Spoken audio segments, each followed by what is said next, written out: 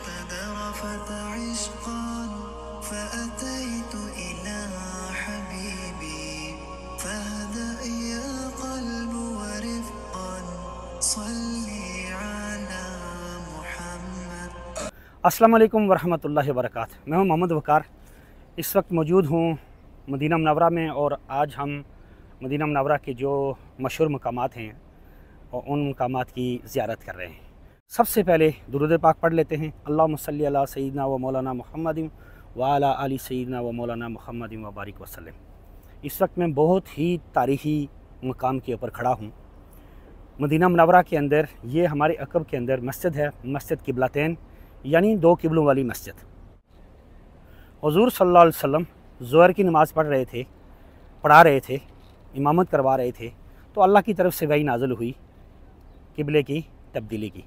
उस वक्त हजूर अलैहि वसल्लम ने अपना चेहरा जो था, वो बैतुल मुक़द्दस से खाना कबा की तरफ़ अपना चेहरा किया था।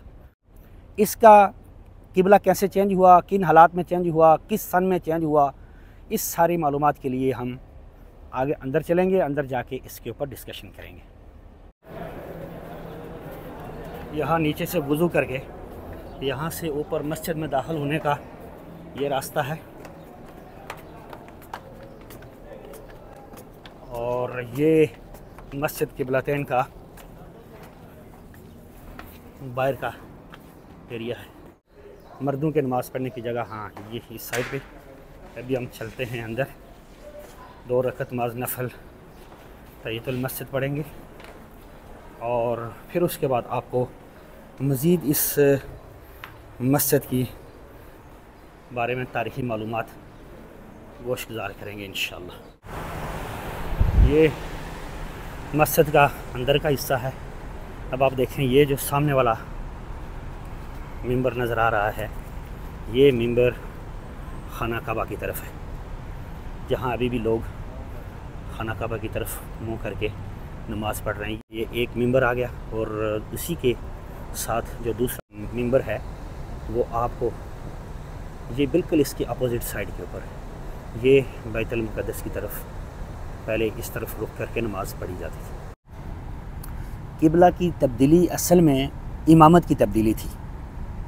अल्लाह पाक ने इमामत जो थी, वो यहूदियों से हटा कर हजूर अलैहि वसल्लम के हाथ में दी थी। यानी ये किबले की तब्दीली असल में ये चीज़ थी। ये इमामत थी कि जो पहले एक अरसे तक, कुछ सदियों तक जो यहूदियों के पास जो इमामत थी, मुसलमानों की तो वो मुसलमानों की इमामत उनसे यहूदियों से हटा के हजूर अलैहि वसल्लम को दी गई इस उम्मत को को दी गई, ये असल में इस किबले की तब्दीली का मेन मकसद था।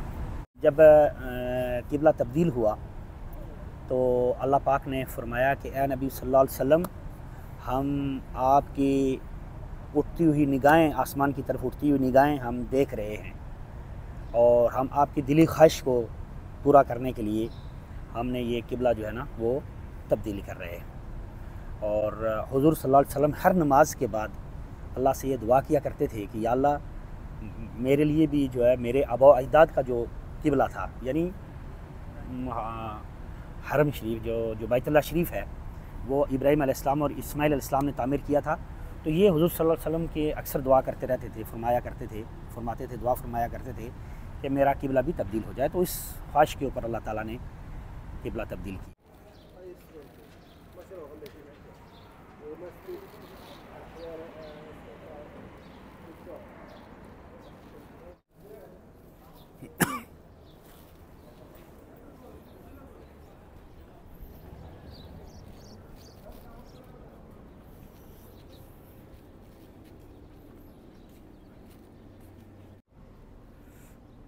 ये मस्जिद किबलातैन के साथ ही ये कब्रिस्तान है। इस कब्रिस्तान के बारे में आप सल्लल्लाहु अलैहि वसल्लम की सही हदीस है कि आप सल्लल्लाहु अलैहि वसल्लम ने फरमाया कि कल क़यामत के दिन सत्तर हज़ार, यहाँ इस कब्रिस्तान से आसमान तक नूर ही नूर होगा। तो सबा ने फरमाया कि या नबी अल्लाह, कैसा नूर होगा? तो आप सल्लल्लाहु अलैहि वसल्लम ने फरमाया कि यहाँ से नूरानी चेहरों वाले लोग उठेंगे और वो कतार दर कतार आसमान तक उनकी कतारें होंगी। अल्लाह कमी बेशी माफ़ फरमाए। और ये ये आ गया मस्जिद किबलतैन आ गई। और उसके साथ ही आ, ये वाला कब्रिस्तान है ये आप देख लें। इसका भी बंद किया गया है। और अल्हम्दुलिल्लाह इसकी भी ज़्यारत हो गई।